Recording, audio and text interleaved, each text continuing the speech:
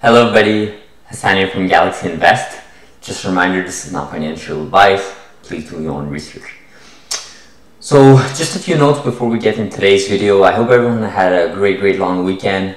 It's just Monday still, so hopefully everyone had you know, a lot of time to relax, spend time with your family. Very, very important, right? To just uh, sometimes just relax, you know, just try to step back and sort of you know look at the bigger picture of things uh, that's going on in your life. And and that's what I tweeted the the other day. I said you know hopefully you guys have time to research and put put put put some time into learning something new right during this long weekend right? On top of just like relaxing with your family and friends.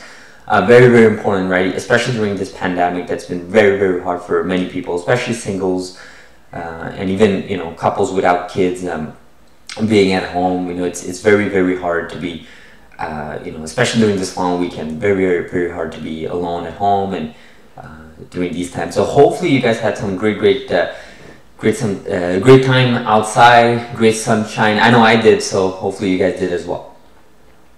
So in today's video, I wanted to cover this article here published um, just uh, a few days ago. And this is in PubMed gov and it was uh, published by our friends at um, CRISPR Articles Twitter handle. And basically the title of this article is um, an updated review of the current achievement, applications, and future research perspectives. And you know, you can, I'll link this article in the description so hopefully you guys will take some time to read it.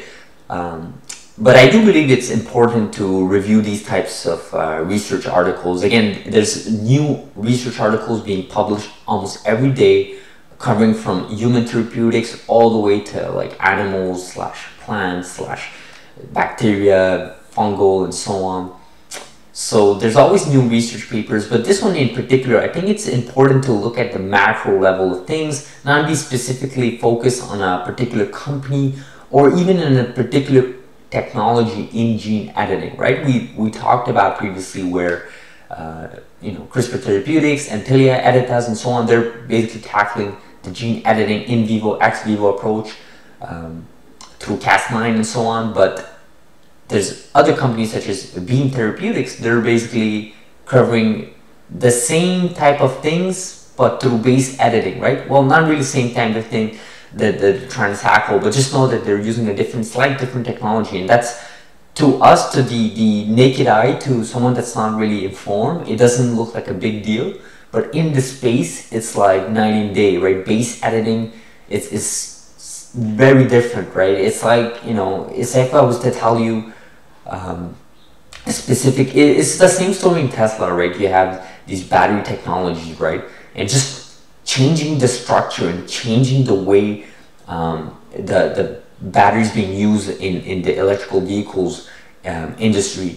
Uh, that's a big, big move, right? We're talking about cost, we're talking about efficiencies, we're talking about safety. It's way different, right? So it's the same concept here. So just keep that in mind as we dive into this paper. And again, this, this paper here was published a few days ago, so feel free to look into it. A few notes here before I even dive uh, deeper into the body of the paper is I highlighted some points here. I went over the paper obviously before the video. Uh, some of the interesting points here is that this was a group of researchers, right? And some from one particular university slash country. It's from different universities, right? You see France, Israel, Czech Republic, India.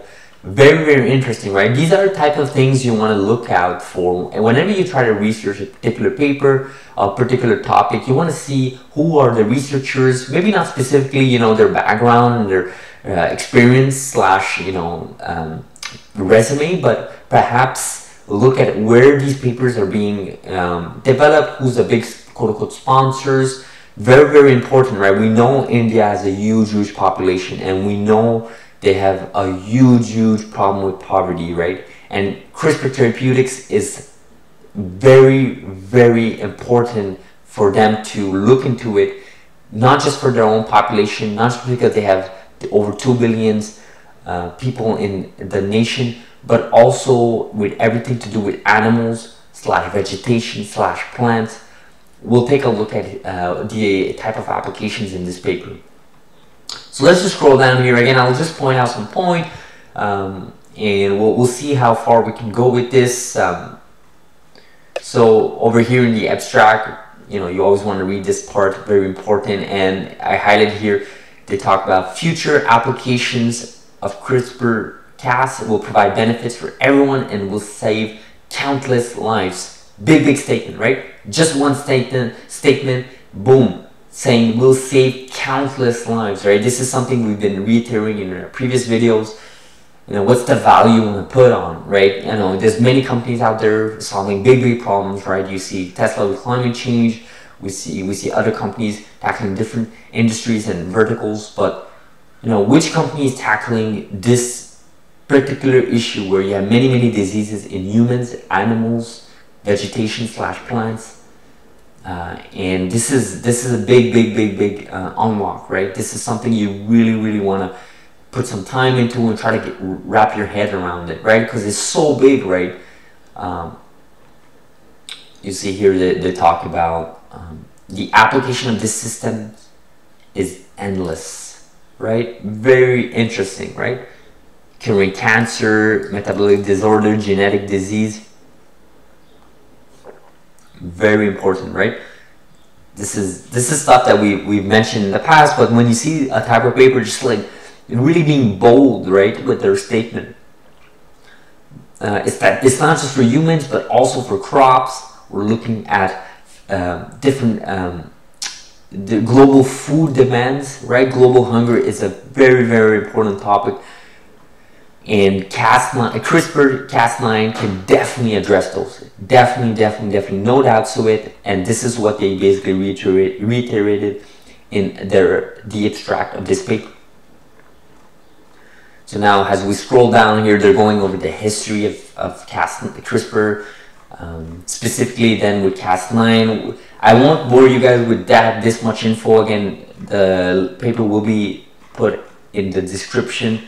So highly advise you guys, especially guys, some of you guys I know um, are very, very um, scientific and you are involved with this field. So please feel free to look into this paper um, and even leave a comment, right? Whatever you think, you know, was very, very important from this paper, from other papers, right? Uh, do link me other papers. I'm always willing to read papers, put some time into. You guys know, you know, we, I have a very, very open mind about this this field. You know, not just for CRISPR Therapeutics, not just for companies like CRISPR Therapeutics and and Tilia, Editas, Beam Therapeutics, but other companies, right? We talk about Repair Therapeutics based in Montreal and so on. So I'm very, very open. Feel free to um, to let me know on, on some of those papers that you know will be worth uh, discussing about. So as we scroll down here, let's take a look here. Again, this is uh, they're going through you know the whole CRISPR adaptation step. You know what is class type one, type two system. They'll talk about. Uh, I don't think I want to bore you guys with this information. Again, this is very very important, right? Type one, type two, type three system. So do you understand the different different the how big this space is and how different companies can perhaps tackle specific set of, uh, of, of types of disease, you know, something along those lines, you definitely want to look into that. And around this Cas9 over here doing type 2 disease, uh, sorry, type 2 system. And you see here the function of DNA, DNA nuclease. So, and then this Cas13, right? Cas13. So, some interesting information here. This is again all very specific, very, very um, you you gotta understand some of these terms absolutely you know you can't just be just reading this paper for the first time and understand every single term that's being used. But this is why you have google this is why you have other youtubers this is why you have communities like twitter. You just ask questions you get answers. And generally the people in this space will definitely answer your questions. As long as you know you you sort of do your own uh, step zero which is like try to use google right? So very interesting. So what I'm going to do here is, well, I highlighted something here. So plant, plant biotechnology, right? So according to a report published in Global Hunger Index 2019, the increasing climate change impact food systems, weather-related disasters, reduced crop yield, and excess carbon dioxide generation decreases the nutritional value of crops. To combat food scarcity, agricultural productions must be enhanced by the combination of traditional plant breeding, whole genome editing, and innovative techniques such as molecular plant breeding, targeted genome editing, right? And specific genome editing. So, first of all, I do want to mention for anyone that doesn't isn't aware, you know, our, our crops and our vegetation and our plants and our foods, many of them already have some sort of enhancement done to them, right? So we look at tomatoes, right? Tomatoes are not supposed to be big, big red tomatoes, right? And bananas, they don't actually look the way they currently look. So I highly advise any of you to just go on Google image and, you know, just type in a real banana before added enhancement or tomato, right? You'll see very, very different, right? Um, and this is already being done in the industry, right? And this makes sense. This has been done for decades, right? This, uh, you need to feed people around the world and you need to reduce the amount, you need to increase productivity and efficiency. And one way of doing that is to basically, you know, use biotech, plant biotechnology. That's how they call it. So, and, and this is what they're mentioning here. And they're talking about how you know you have fruits and vegetables you know making more, them more commercially attractive you have quality of crops in rice and corn you have uh, yeah so increase in grain size weight number of protein content very these are uh, improvements that may look small but on the large the large scale of things like in the big big picture they're very very big right they can they can feed many many communities right they can feed better communities uh, it's better for the lives of people right again, as long as they're safe and everything has been tested and we've we've talked about this, you know, the process the processes to get any of these types of enhancement done takes long, many, many years, right? In in in, in average. So just keep that in mind. Um, so this paper really, you know, doubles down on the fact that it's not just about human therapeutics. You know, we're talking about rice, tomato, grapefruits. You know, there's there's so much we can do. We can reduce the amount of diseases on these types of plants slash foods that can sort of enhance our ability to provide food, especially in this world where global warming, uh, climate change is a serious topic and it is affecting crops around the world. And less crops mean less food on people's plates. Um, and this is not just going to happen in less developed nation, definitely in a um, first world nation, however you want to call them. Uh, it, it is going to happen. It's already been happening, right? You see food prices being raised. Obviously, this is due to inflation and other reasons, but just keep that in mind, right? There's this this um this technology that we've talked about. You know, I, I, we've made some mentions in the past, but just know that you know there's so much so much space to this. Um, there's so much room for innovation and the applications like the paper mentioned the applications are quote unquote endless so keep that in mind and then here the application CRISPR-Cas plant biotechnology. They're talking about all the crops of apple, banana, cotton, flax, potato, rice, and you see all the targeted gene, and you can see how specific you know this this table is, right? It's not just hey we can tackle you know potato, right? It tells exactly the targeted gene, the editing process, specifically what type of process it is. Is it gene knockout? Is a gene insertion? and replacement is a gene mutation mutations so this specifically and then they give you the results right and you can see herbicide resistance you can see different uh, results here and then they link you even to a paper and again there's so many papers out there covering some of these um, specific application and this paper just like basically and um, basically just like you know balloons everything and just give provides you all these papers and nice tables and graphs so highly advise you guys again once again to review this paper on your own, put some time into it. Um, hopefully today, you know, a lot of people have off today, so if it's not today, maybe you know, knock out like an hour or two on a, on a Monday night. I think you guys will definitely find uh, value to these types of papers. So again, these are the prospects in plant gene editing, and then talking about you know how CRISPR-Cas9 what it can do. You know, it can affect plant breeding. We're looking at you know increased global food security right? We're talking about important applications that can increase, just increase the populations, right, of food uh, especially with the food, uh, sorry, especially with the increasing, ever increasing population around the world, you definitely want to overcome food scarcity, right? This is something that I haven't really mentioned a lot, but um, I think in 2021, the fact that we still have many, many people around the world, millions of people around the world, especially in less developed nations, that are going to bed hungry every night. Uh, some of them are dying because of it. Some of them cannot live to their fullest. I think this is a great tragedy in our era. Uh, as much as I love our smartphones, as much as I love the computer advancements, as much as I love the whole movement, for example, with Tesla and electrical vehicles on the car. Those are big, big innovations, very much needed. Um, and it's always great to move forward in those types of technologies. But the fact that we haven't been able to address some of these issues uh, in our communities, in our society, I think it's a great strategy. And I think some of these companies that we've uh, covered so far, they do exactly that, right? They want to cover human diseases and then hopefully other companies uh, can also enter in this space. You know, I was taking like a really hot take. You know, you don't have to like find found. You know, you don't have to be like a, a startup company that you know uses this technology and tackles like, for example, all the rice uh, application side of things, right? Or potato or whatever. I think it could be like a company like Beyond Meat, where you sort of invest in these types of technologies. Um, and you build partnerships the same way Vertex has built partnerships and you know Regeneron and so on. These big pharma companies they build partnership with these uh, genome editing companies, right?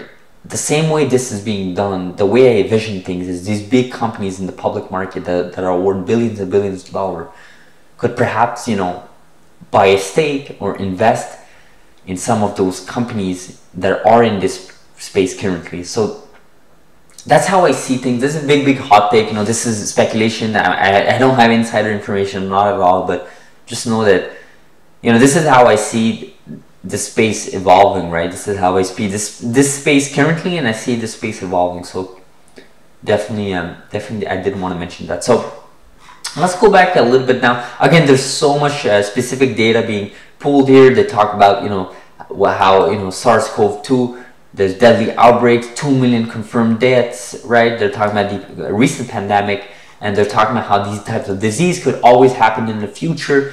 And we've mentioned that, we've made um, many comments on that in the past as well. And you want to sort of prepare for that, you want to be ready for that, and you want to be uh, structurally um, structurally confident about tackling these types of disease. You don't want to go into the unknown. And I truly don't believe, you know, having many lockdowns and staying at home. This is not the right way of approaching things, right? We have technology for a reason. Technology is supposed to improve the lives of people as we go forward, right? We've con we've done enormous progress in the recent decades, but there's so much work to be done. And this is why I truly believe these, these types of companies that we, we talked about in this channel, they're truly revolutionary. So and you see here Several animal models such as chicken, cow, goats, and pigs are constructed by CRISPR to form biomodels to study humans and animal lifestyle. The ever-increasing demands of organs will also be reduced by these biomodels. So interesting updates, right? On this paper, they talk about it, and then obviously they give a table six, table six of this document. They talk about all these types of diseases, right? We'll just name a few of them, right? Hearing loss, right? Big, big issue in today's in today's uh, in today's environment. We all of our AirPods and headphones on every single day, especially the newer generation. Uh, this is this is a big issue, right? So imagine CRISPR addressing this issue, right? So then you have obviously uh, cystic fibrosis, which we we we even see some of these uh, companies have in their pipeline, and obviously the other one as well, DMD, hemophilia, B and A, uh, beta thalassemia, obviously sickle cell disease and some of these companies are already tackling some of these diseases. So nothing new here but just know that look at this list of uh, disease cancers. You know there's so many tumors being tackled here. Hiv we took a look at the potential market for just hiv uh, so so many so many diseases. And it's not just about knowing what disease you can potentially address. It's also just the fact they can specifically tell you the targeted gene and give you the editing process and then hopefully like the result. This shows you this this is not just you know pretty a pretty table stating you know what what is the hopeful future research. We're looking at research that's already been done right? And uh, even some companies have already cured some of these diseases like sickle cell disease and beta thalassemia such as CRISPR Therapeutics they basically healed all 10 patients so far so they're basically just monitoring for side effects and um, everlasting impact but that's where we are right now in this space. So, and gene editing technologies facilitate the eradication of human diseases. Big, big statement, right? Big, big, big statement. Just eliminate them. It's not just about reducing, it's not just about minimizing, it's not just about making the side effects less significant, is completely eradicating, right? Remove these diseases, right? These genetic diseases that are causing that are causing every single day, every single minute, people are dying around the world, not just in in specific regions of the world, even in more developed nations, this is a big problem. Human therapeutics, this is what some of these companies are tackling. This is a big, big problem. And you know, you see here a similar study conducted in 2018, CRISPR crashed an entire population of mosquitoes passing infertility for a dozen generations using gene driving. Uh, this is actually a really nice Netflix uh, series about CRISPR um, just CRISPR in general, gene, genome editing, it's even the moving PBS, I think it's called Human Nature or something along those lines. They sort of talk about this example here. Um, and there's a big discussion. I highly advise you guys to watch those uh, if you have some time uh, tonight or sometime this week. Definitely do watch those. If you did, leave me a comment in the description. Let me know how you guys found that those uh, that Netflix series and even the PBS um, documentary.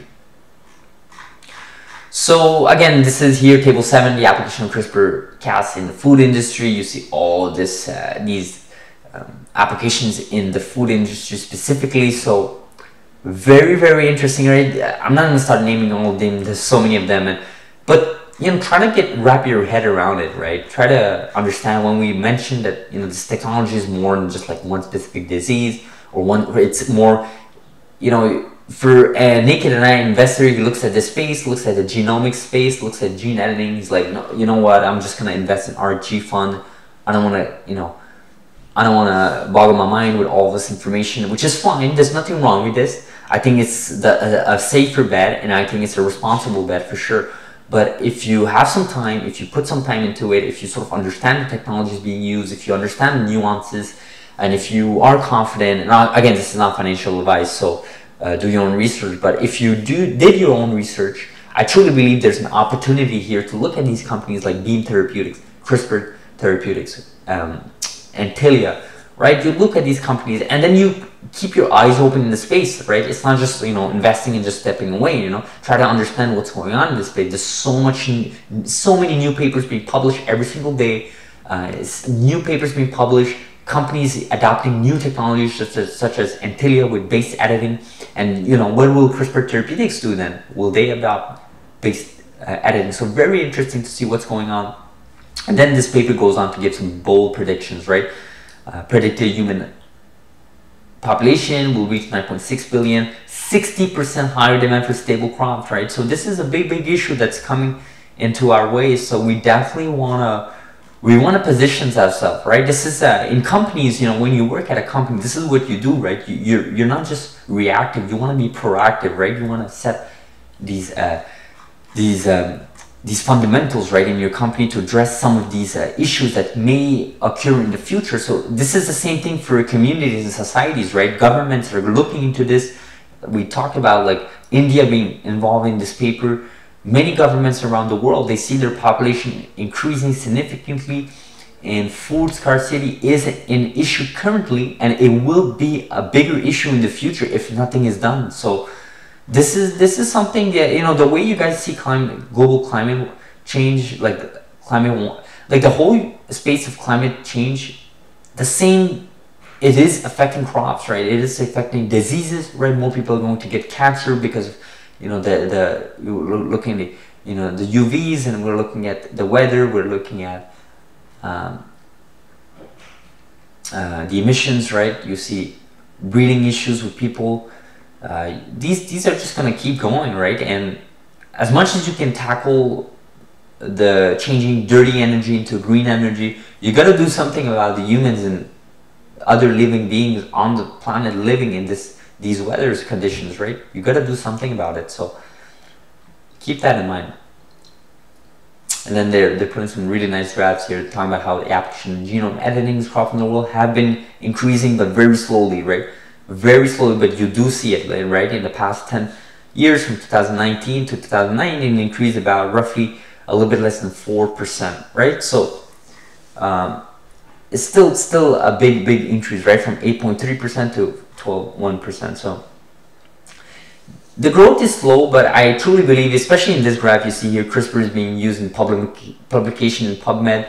We talked about this. There's more and more publication being done, and it's just increasing. And you can, you know, I'm not sure if you can really make the association that has CRISPR is increasing. The other ones are also decreasing, but that's how it looks so far. So let's see how this trend keeps going for the following years. But this is a big, big uh, play, right? So we talked about how it will take numerous of years to get this thing, uh, this technology really adopted commercially around the world to address many of these human diseases, many of these plants um, diseases, you know, plant biotechnology. This is years away, but not that long, right? We talked about how Dr. Sam envisions a world where we tackle cancer in the next three years, right? which is very soon, you know, this is gonna go really fast. And CTX001 from CRISPR Therapeutics, when it is approved, once it's approved, you'll see enormous progress. You'll see a lot more investors pouring in their money because they're aware that this technology is for real. It's not just pretty research papers. It's not just pretty clinical trials. This is going mass market. There's a business model around it. Uh, then you see, you'll see analysts just come um, come all, all over the space, right? Um, and here, I, uh, due to universality, CRISPR will probably be applied where pro probability will probably, okay, there's a typo here, but will probably be also applied in animals to increase muscle mass, reduce diseases improve vitality. So applications are endless, guys. Applications are endless. You definitely want to look into this, uh, this paper and then talk about what happened in China. Uh, I, I will not cover that um, for today's video, but you know, feel free to look into that yourself. And then, you know, they end this uh, paper with a really nice um, graphics here. I could probably just summarize a whole paper just by looking at this graphic. That's why I love images. Uh, but you can see here we, we tackle not just the food industry and biotechnology, but livestock. We're looking at, you know, control bacterial viral diseases, right? We talk about the pandemic drug discovery developments. We talk about those partnerships we have with Vertex and so on. Biofuels production, right? Uh, they're putting like this is this looks like a Tesla and SpaceX, but it is what it is. Just keep that in mind. There's even a section over that, so feel free to look into that. So genetic diseases, obviously, some of these companies are already covering this. So guys, I I, I think this paper is really great. I, I really advise you guys to look over it, um, put some time into it, try to be, you know, try to raise awareness, right? There was one great tweet tweet I read, I think yesterday or two days ago. It was something about, um, you know, we, we shouldn't be focused on one particular company. Uh, we should just be focused on the whole space of gene editing, right? Uh, because this will increase awareness and sort of attract investors in this space, and then eventually these companies will all benefit, right? It's not a it's not a zero sum game, right? There will be many many winners uh, because the applications are quote unquote endless, right? So we'll end this video like this. Uh, thank you very much for watching. I really, really appreciate the feedback I'm getting, guys. Um, again, do like and subscribe. Leave a comment. Uh, it really, really helps this channel and it helps the community. Uh, again, the mission of this channel is just to raise awareness of this space so that hopefully we can attract investors, um, even people that are not currently aware of this space, you know, they can just maybe you know learn a thing or two and sort of you know uh, follow the the uh, follow the trail and then hopefully learn more about it and then pull the trigger and um, ultimately invest in it and then share that information along uh, with their communities so thank you very much. Uh, I'll end this video like this and hopefully you guys have a great great uh, Monday and a great week. Thank you very much